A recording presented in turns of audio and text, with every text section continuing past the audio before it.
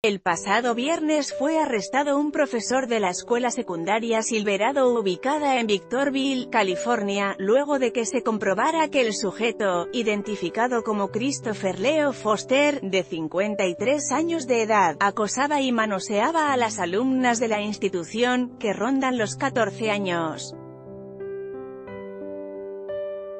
Todo comenzó cuando dos alumnas de la escuela reportaron al maestro con un oficial de la escuela por haber sufrido tocamientos inapropiados por parte de Christopher, por lo que pronto los trabajadores del colegio comenzaron con las investigaciones, de la mano de las autoridades de Victorville.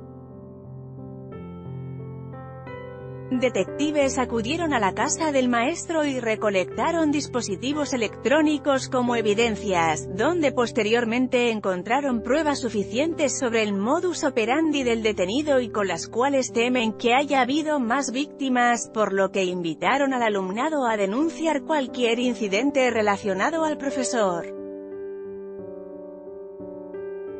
Tras la comprobación de los crímenes de Christopher, elementos de la policía del condado de San Bernardino procedieron a arrestar al acusado y a trasladarlo al High Desert Detention Center, donde permanecerá en calidad de detenido hasta que se determine su situación legal.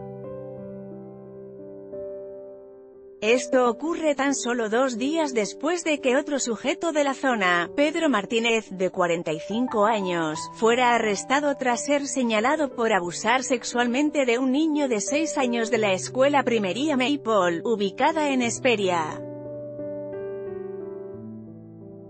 Pedro era conserje de tal escuela desde 2005 y, a pesar de la grave acusación, fue liberado.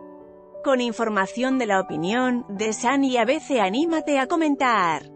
Queremos saber tu opinión. Comentarios Powered by Facebook.